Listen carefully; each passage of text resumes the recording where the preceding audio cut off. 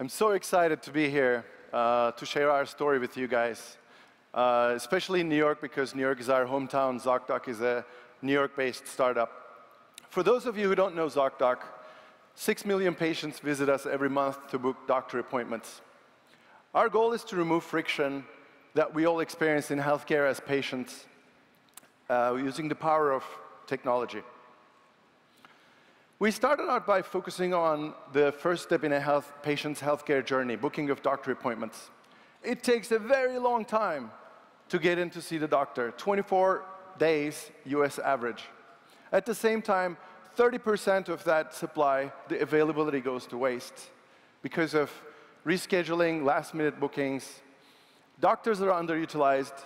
Patients can't get in to see the doctors. Patients, as a result, wait and they get sicker or they just ignore their health condition and they get to ER as a result, which drives up the healthcare cost for all.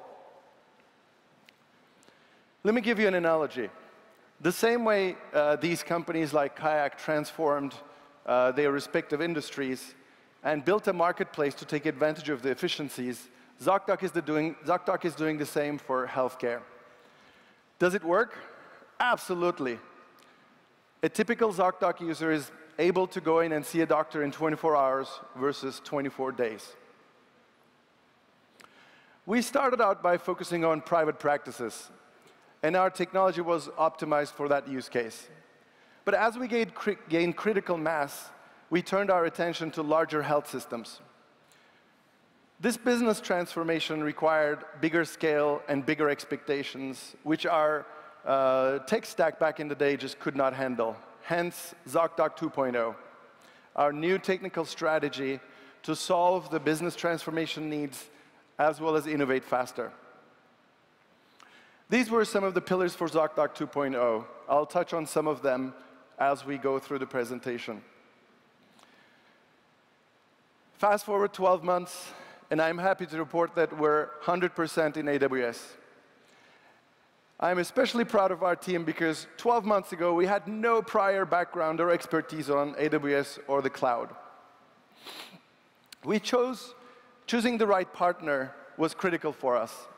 We chose AWS primarily based on our shared principles, customer obsession and rapid innovation. Along the way, aside from migrating to the cloud, we had to ramp up on concepts like infrastructure as code, DevOps, while also figuring out things like compliance and security in the cloud. We went way beyond infrastructure as service. We believe, in, we believe that the real power of the cloud is in platform as a service.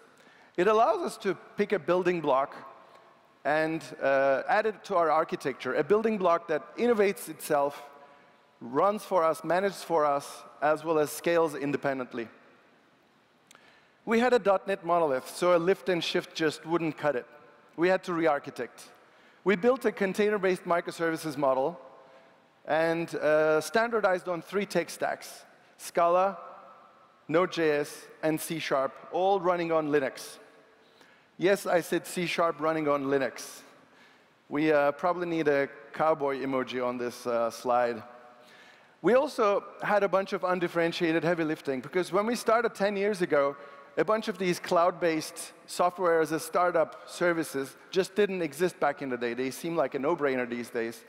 But we had to eliminate a bunch of the uh, services that we, we built ourselves. ZocDoc didn't need to be an expert monitoring moni uh, building monitoring systems or A-B testing systems. We wanted to focus on solving patient and provider problems. And in addition to uh, increasing the scale and sophistication of our security controls, we're in the process of getting to the highest level of security certification that's possible to get in healthcare. A great win for us and our patients and providers. We knew we had to build a robust platform to get to our data liberation goals that we set out for ourselves. Our data was stuck in thousands of relational tables.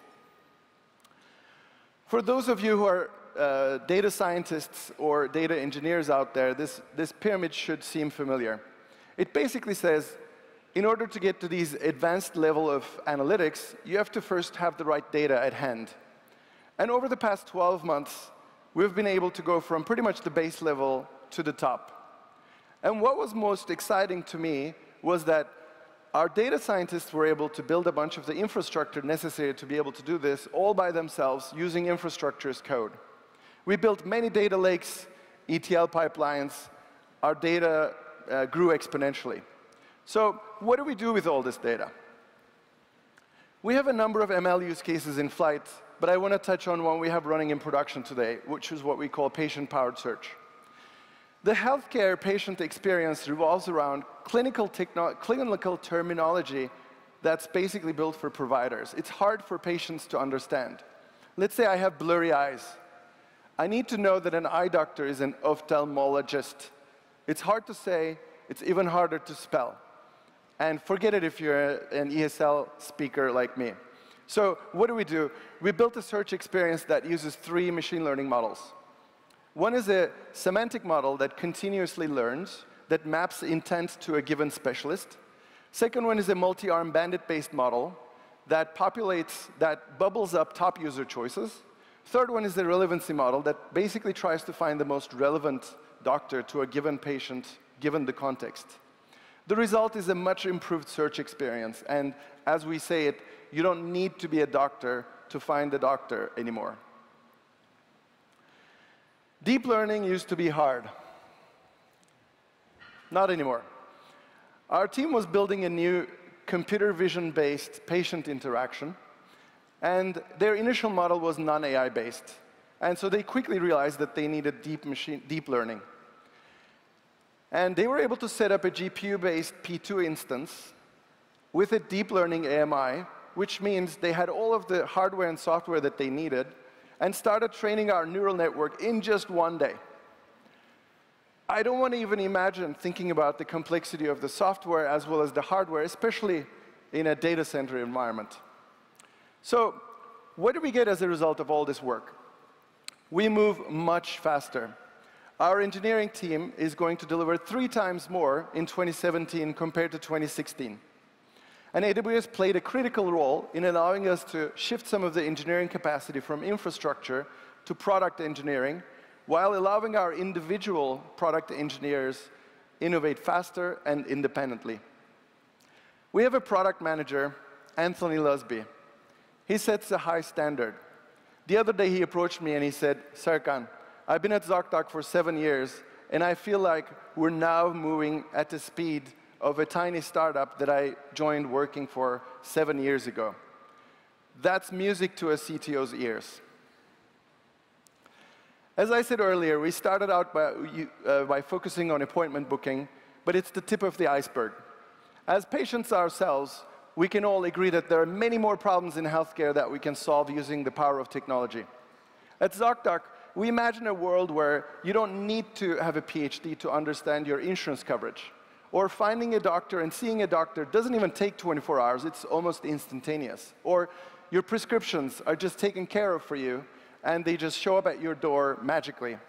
And most importantly, you have one place to deal with all the complexities of healthcare. Thanks to AWS, we're now better positioned than ever on making that future a reality. And of course, we're hiring. Our doors are wide open to people who want to help us build that great healthcare experience that we all deserve. Thank you for listening.